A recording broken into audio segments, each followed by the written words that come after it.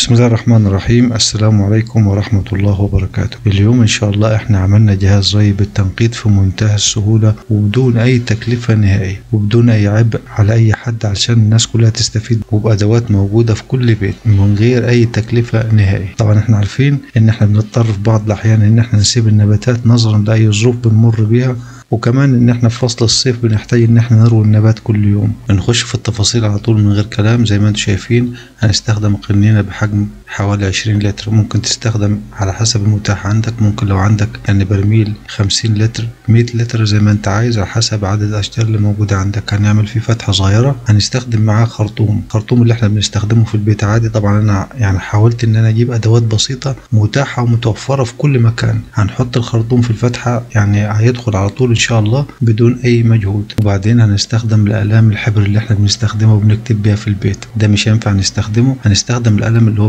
بيتفك من ورا زي ما أنتم شايفين ده متوفر في كل مكان حتى لو إحنا اضطرينا ان إحنا نشتري قلم كله بجنيه يعني مش سعره مش غالي بس إحنا لو عندنا في البيت يعني قلم مستخدم ممكن نستفيد منه. زي ما أنتم شايفين القلم اللي هو بيتفك من ورا ده لازم يكون بيتفك من ورا تمام؟ هنبتدي ان إحنا نقطعهم وناخد الجزء اللي هو من ورا اللي هو بيتفك. هنبتدي ان إحنا نقصه بأي أداة موجودة عندنا بس أنا بقص بالصاروخ لأنه متوفر عندي وسريع. لكن أنت ممكن تقصه بحتة منشار ممكن بسكينة يعني هو سهل البلاستيك مش مستاهل يعني. طبعا كل ما بيزيد عندك عدد النباتات أو عدد الأسس أو عدد الأشجار هتزود عدد الاقلام وكمان بالنسبة لطول الخرطوم كل ما عدد النباتات بيزيد ممكن تطول الخرطوم زي ما انت عايز. زي ما إحنا عارفين الخرطوم بيتباع يعني في محلات اللي هي العدد بتوفر في كل مكان ومش لازم السمك. يعني ممكن تجيب واحد أرفع واحد اتخن على حسب المتاح عندك. مش هيفرق في أي حاجة خالص. نبتدي إن إحنا نعمل فيه فتحات عشان ندخل فيه القلم طبعا الفتحة هتكون على حسب يعني المسافات ما بين كل قصيص أو حسب المسافات اللي موجودة في الأشجار. برضه هيدخل القلم في منتهى السهولة عشان الخرطوم بلاستيك فهيضغط عليه وهيبتدي إن هو يمسك فيه بشكل كويس. آخر الخط أو آخر الخرطوم زي ما أنتم شايفين إحنا مش محتاجينه في أي حاجة خالص هنضطر إن إحنا نقفله. هنقفله إزاي؟ هنضم عليه زي ما أنتم شايفين وبحتة قماش نبتدي إن إحنا نربطه وخلاص كده الموضوع انتهى. يبقى كده آخر الخط مقفول عندنا ما بيطلعش مية نهائي. تعالوا بقى نجرب الاختراع البسيط. طبعا أنت ممكن تستخدمه بأي شكل.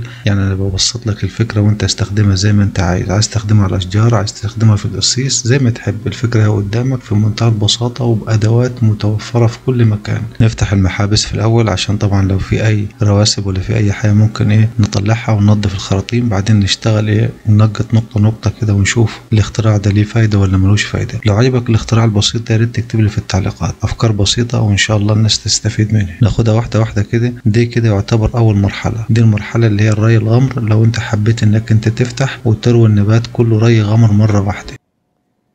ده مستوى تاني أقل منه شوية. يعني ممكن يفضل فترة يعني أطول من الري الغمر. بس هو سريع شوية بس إحنا هنشوف مرحلة تاني يعني أقل من كده بكتير.